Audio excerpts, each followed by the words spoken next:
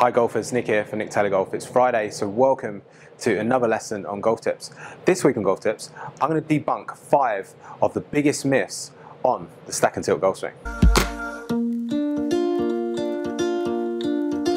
I started my channel five years ago, and the whole purpose of doing this channel was to let you guys know out there what stack and tilt is, um, how it can work for you, and how the best players in the world are using the system. Over the years, there's been a lot of pushback from the system. A lot of people call it a method. Um, and in today's video, I'm going to sort of cover five of the biggest ones that I get um, to help you guys understand the system a lot more and hopefully answer a lot of your questions out there. So the first myth we're going to debunk today is the method of stack and tilt. People think it's a method that you have to swing the same swing, everyone swings the same swing. That's the whole idea. We're teaching you to just swing one swing. And that couldn't be further from the truth. We know, we take a look at the best golfers, they all have different swings, but they all conform to certain key fundamentals, and that's what stack and tilt is based around. So the system's based around three key fundamentals to play good golf. And it's not just the players we teach that do this, it's also the best players in the world conform to these key fundamentals. The difference between sort of the conventional golf swing and the stack and tilt golf swing is the fact that we use a set of dynamic fundamentals as opposed to some static fundamentals. A lot of people believe the the grip, the way you stand, your posture, your alignment is a fundamental where really the best players do those things all differently. So in the stack and tilt system, we use uh, key fundamentals that help you play better based upon the best players in the world. So the first one is controlling the low point of the swing. So what do I mean by the low point of the swing? Well, if I put my club on this mat here, as I swing, I will hit in front of where the club starts, and that's controlling the low point. We know that the best players in the world, they hit down on the golf ball and they control that dispersion of where the club hits the ground really tightly. The highest handicappers have the biggest range of variance of where their club hits the ground. So generally, the highest handicappers that I see uh, around the world and in the bay here, they'll hit the furthest behind the ball or they will probably miss hit the ground or their dispersion of where their club hits the ground varies a lot. Whereas the best players have the tightest dispersion. So that's the first key fundamental, being able to control where the club hits the ground. So once you can control where the club hits the ground, then you need to do that speed. There's no point chipping the golf ball around the course because you're not going to get very far. Even though you might control the low point, you need to have some sort of degree of speed in that. So at the same time as controlling the contact and the low point, we have to start to build a golf swing that creates power. So this is why we have this grid here. This is to help with a, a number of things, but it's also to help add power into the stroke. Go, in the golf swing, a lot of players are led to believe you have to sway the body to create power. But in the stack and tilt golf swing, we, we tilt and turn and extend to help us move the club around the body in an arc to keep the club on plane, uh, to create power and control the contact. So in the stack and tilt golf swing, by moving the hands and the club around the body, that's beginning to create power. And by tilting and turning, that's giving us some leverage in the swing to help us turn and move the arm around to create power, as opposed to moving off the golf ball. You could move off the golf ball to create power. Um, certainly, if I moved around the most, I could probably create a little bit more speed, but at the same time, that's not going to control my contact on my low point of the swing. So you have to conform to those first two key fundamentals first before you worry about the controlling the curve of the ball, which is the third key fundamental. So when you take a look at the best players on the PGA Tour week in, week out, they always make good contact, they hit the ball a long way. They don't always control the curve of the ball, which is the third key fundamental or the stack and tilt golf swing. So first of all, you have to get those first two right. And this is where I spend most of my time with the highest handicappers is controlling the contact improving the power at the same time because if you can do that, you can at least get around the golf course, uh, hit the ball a certain distance, control the distance, you've got more chance of scoring. it's no point trying to hit everything straight if you can't make good contacts and hit the ball a long way. So when we talk about the curve of the ball, we're talking about how the best players control the starting direction and the direction it curves. So this is where the grid comes in. Moving the club around the body back and through helps control the swing plane helps control the low point and starts to control the curve of the ball. I know by placing the ball in a certain position in my stance, it's going to change my delivery of the club into the ball. And this is a, a, big misunderstanding of the stack and tilt golf swing. Players believe, a lot of people believe in that we're trying to swing the most into out, which is couldn't be further from the truth. We're actually swinging at the target, but by having the ball back in the stance, you catch the ball before that point where the club changes direction. I've done loads of videos on the grid talking about that, but we're not trying to deliberately draw every golf ball. It's built into the to the grid, right? That's the whole point. We're making good contact, we're creating power, and we the draw is natural because of the way we stand and set up to the golf ball. So going back to the earlier point there, it's a system to improve based on three key fundamentals that are more dynamic as opposed to what you just do at setup. And I think that's so key to understand. I think people think that when they come for lessons or they're learning stack and tilt that we're going to transform you and get you to swing exactly like the model swing. It's, it's not like that at all. We use those three key fundamentals to help you improve um, in a more structured way, in a systematic way, as opposed to trying to change everything at once. We first of all just focus on making good contact, creating power. Then once we can do that, then we start to try and control the curve of the ball a lot more. In my experience, generally the better players, you're trying to work more on controlling the curve.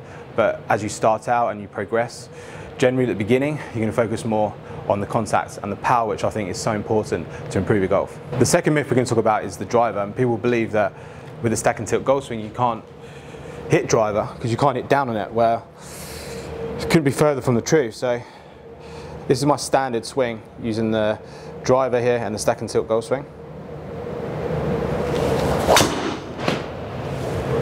So you can see on the screen there, pretty straight. Now, I've not had a warm up. That's really my first swing of the day. Sort of just gone out there to almost 300 yards, pretty straight. So yeah, no warm up, just stand up there, hit the ball pretty straight using the stack and tilt golf swing.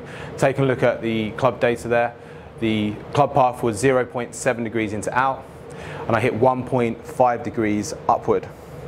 So just in my standard golf swing, I actually hit slightly up on the ball, and I think where you guys sort of misinterpret stack and tilt is that in the swing, by keeping the weight forward, with the driver, we, we have to set up slightly differently. So we create a slight side tilt by pushing our hips forward, like this. This creates this side tilt. And then it, through impacts, we extend, push our hips forward, bend backwards to shallow that out. I think a lot of people think you, with the driver, you push your weight to the left, keep it there, and then you hit down on it too much. And yeah, you're right, if you do that, you're doing it wrong. So in the stack and tilt golf swing, you have to learn how to extend properly, bend backwards, set up properly. That's key as well. So I think there's certainly a lot of misinterpretations there on how you use the driver. Um, I've done plenty of videos on this describing it, but just showed you there, guys, you can hit driver using a stack and tilt golf swing. It goes a long way. It's pretty straight.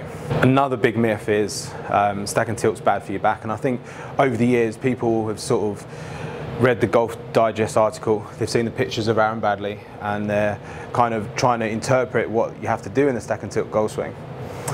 And I think they either overdo things, uh, they don't do it in the right way, they're not using an authorized instructor to help them improve. There's certainly a lot of studies that have gone into this and uh, the facts are, guys, that there hasn't been one uh, stack and tilt tour player that's had to pull out of an event because of injury.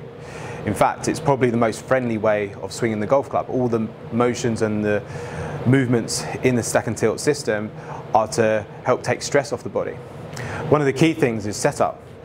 And I see this every day. I must tell some, sometimes I tell people every lesson to turn their feet out, and I think it's one of the most important things when you set up to the golf ball.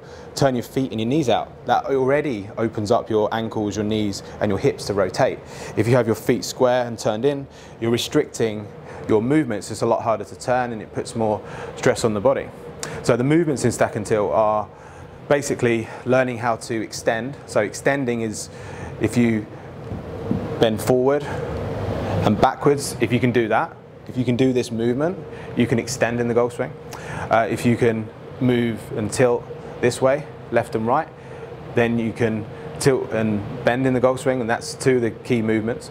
And then finally, you have to learn how to do that and rotate. So as long as you can tilt and bend, then you can do the moves, right? In the golf swing, the stack and tilt golf swing, we, we help you turn better by extending the legs, changing the knee flex, tilting and turning and bending to create the backswing, right? We're not trying to restrict the movements here by maintaining too much bend in the right leg, trying to squat into that leg. We're not trying to have our feet square and put strain on the body. A uh, good video to watch for this. Uh, my colleague here, uh, Rob Cheney, I know a lot of you guys follow him.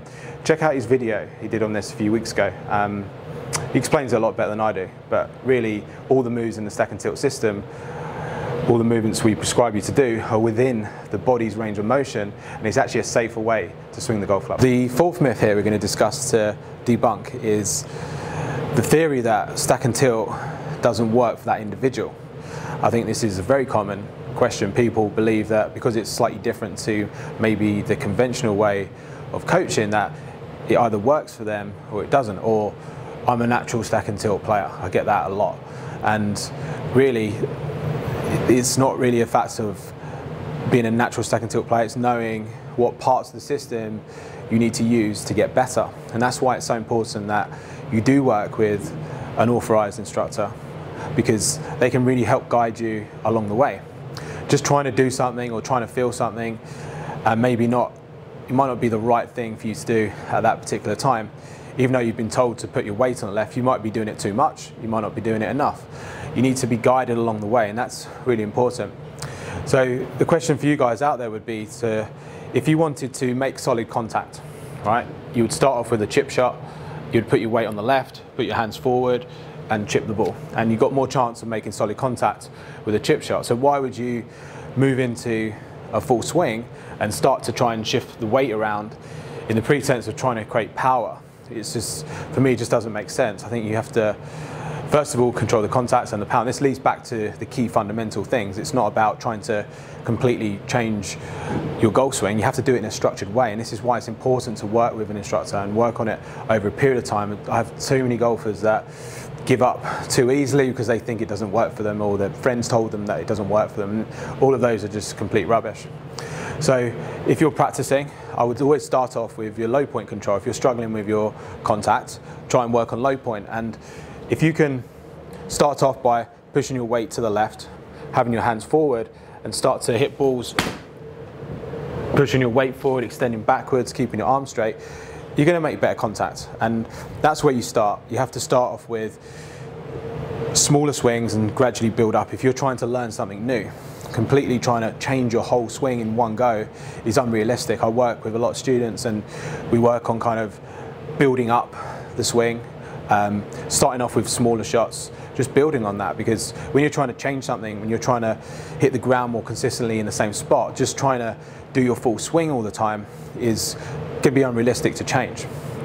So in my opinion, I think stack and tilt works for everyone and I think it's a complete myth to say that you're either a stack and tilt player or you're not. So the final myth we're going to discuss now is that no one uses it and I get this comment a lot no one uses stack and tilt, so it doesn't work. No one on the PGA Tour uses it, so it doesn't work. So first of all, I'm not sure where they're getting the facts from because there are players that do use it on the PGA Tour.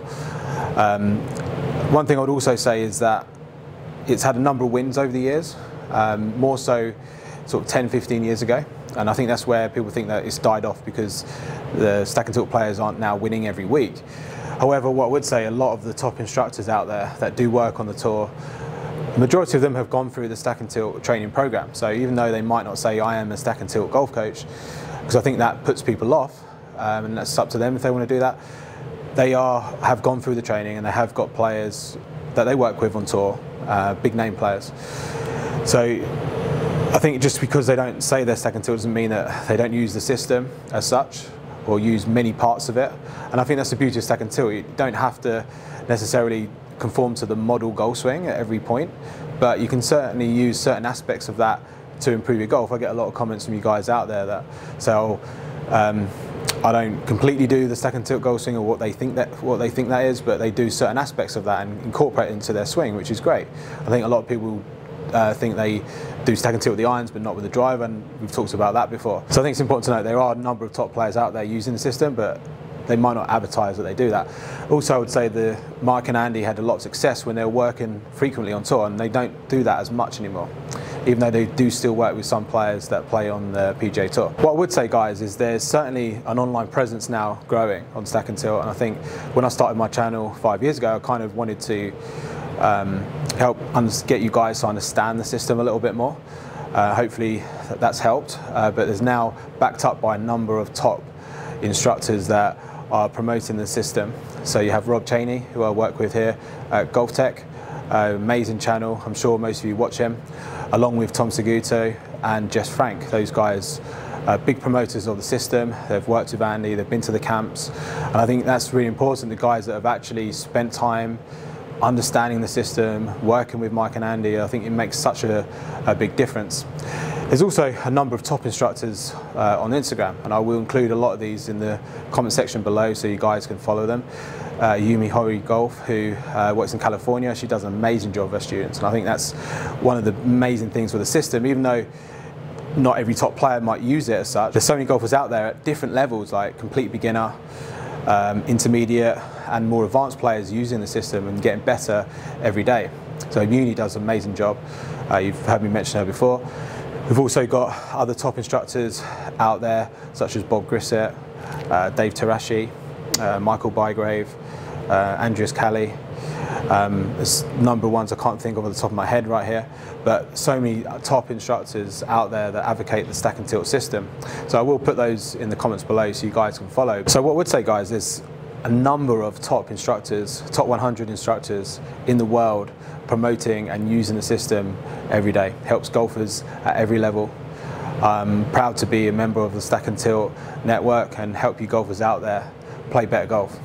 So thanks for watching golfers. If you've got any more myths you want me to debunk, put them in the comments below and I'll see you again next week for another video.